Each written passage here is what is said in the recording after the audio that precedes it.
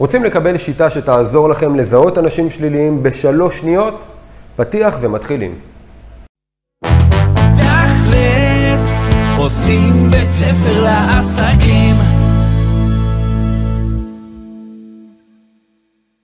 כבר דיברתי איתכם בהרבה מאוד סרטונים על חשיבות הסביבה, על חשיבות האנשים שמקיפים אתכם. אם אתם רוצים לצמוח ולהתפתח, כדאי מאוד שתהיו בסביבה של אנשים שמעניקים לכם אנרגיה, שדוחפים אתכם, שעוזרים לכם, שמקדמים אתכם לעבר השגת היעדים שלכם וכל דבר אחר שחשוב לכם. אנשים שליליים פשוט ימנעו מכם להצליח, נקודה.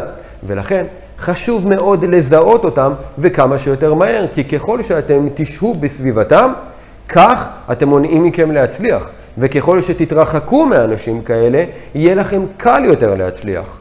אז איך אפשר לזהות אותם? באמצעות שאלה אחת, ותוך פחות משלוש שניות, התשובה טמונה בשאלה הפשוטה של מה שלומך?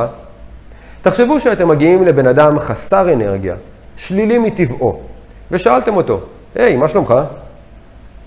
סביר להניח שהוא יענה לכם בסגנון של, אה, בסדר, ככה ככה, טוב, אה, לא נתלונן, יכול להיות טוב יותר.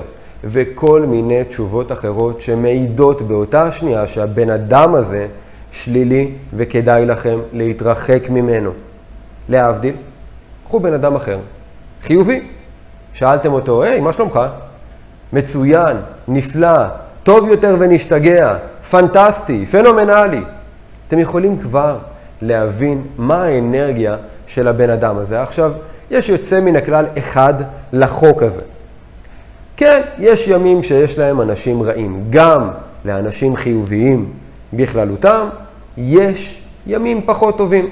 אבל עדיין, גם האנשים האלה, בימים הפחות טובים שלהם, לא במרכאות ירדו לרמה של ה... אה, ככה, ככה. הם יגידו לכם, אה, בסדר. אבל גם הבסדר לא יהיה בטון של בסדר. אלא זה יהיה בטון של בסדר.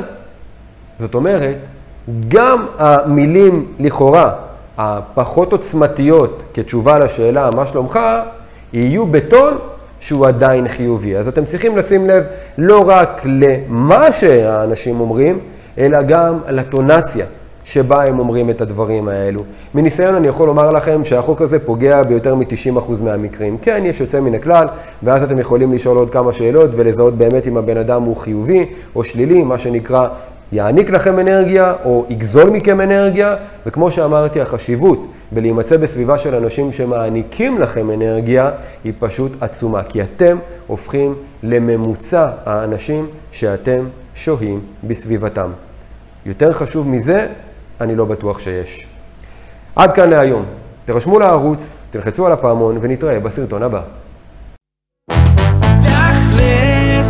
עושים בית ספר לעסקים.